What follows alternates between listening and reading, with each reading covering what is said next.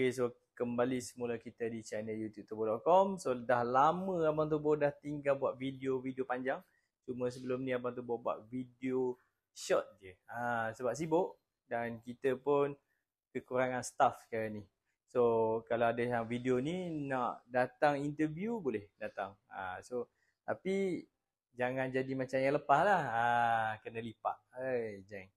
Jadi ha, pada hari ni Abang Turbo ada kereta Satria Neo. Satria Neo uh, dia dah bolt on turbo dah. Okey, dia dah bolt on turbo, dia dah masuk semua turbo kit management dan dia datang sini nak upgrade kepada coil K20. So kita pasang coil K20 dan kita dyno balik. Ha, coil dia dia pakai yang coil performance K20. Okey, kejap lagi kita akan tengok uh, dia punya engine dan kita akan review. So sebelum tu siapa yang tengok video ni jangan lupa like, share, komen dan jangan lupa subscribe channel YouTube turbo.com ni. Okay, jom kita tengok engine dia. Jom. Okay, so ni adalah dia punya engine bay. Okay, so turbo dia kita bermula daripada turbo eh. Kita bermula daripada turbo.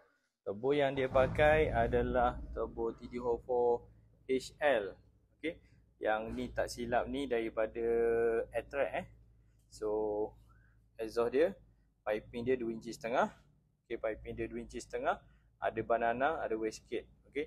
So ni yang dia pakai K20 ni. Tak tahu daripada jenama mana dan daripada mana dia dapat. So ni kita pakai kita buat tarik satu-satulah. Uh, so yang ni dah jalan fully apa? Uh, sequential. Okey, fully sequential coil on plug. Okey.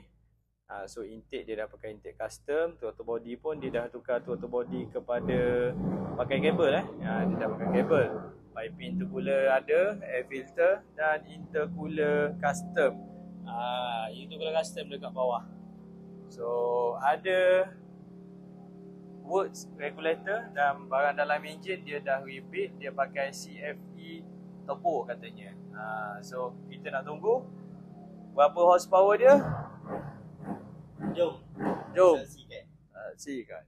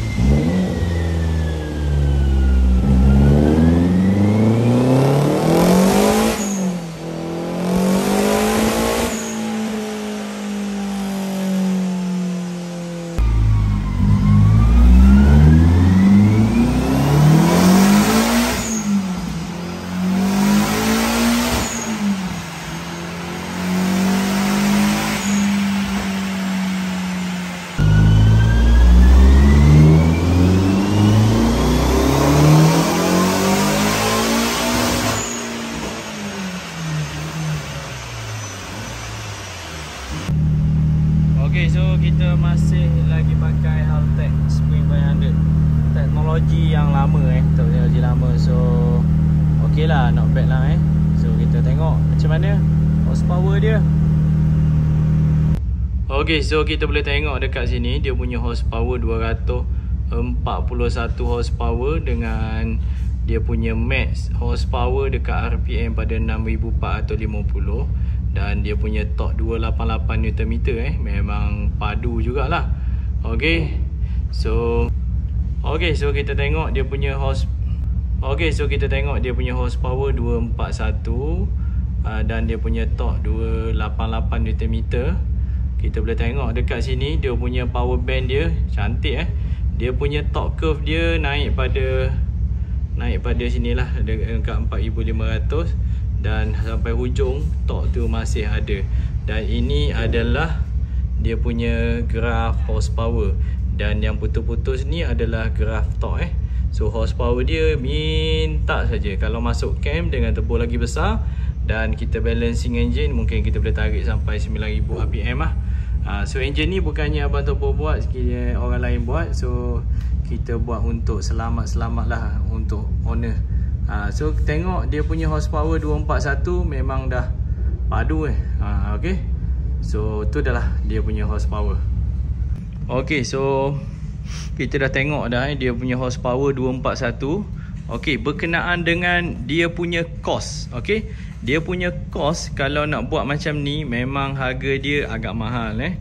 So abang Turbo nasihatkan kalau ada duit lebih, minat ada, kental baru buat. Ha, kalau kereta ni lah adalah salah satu-satunya bukannya salah satu maknanya kereta ni lah satu-satunya kereta buat hantar bini kerja buat hantar anak sekolah maknanya tak sesuai lah nak modify.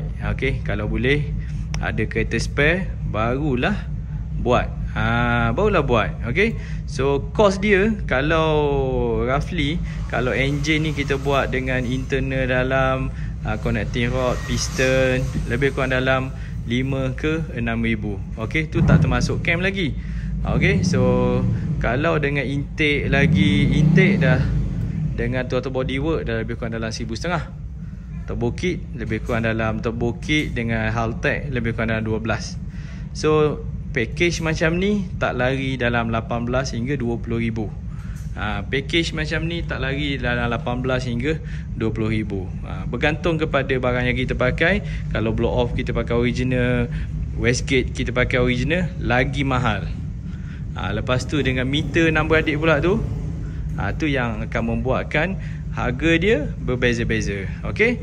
Ha, untuk lagi detail datang je jumpa dengan abang tebu ataupun staff abang tebu okey? So yang berminat nak buat kereta nak modify nak buat buat on tebu jangan lupa cari abang tebu okey? Itu saja daripada abang tebu pada kali ini. Assalamualaikum warahmatullahi wabarakatuh. Mantap pak abu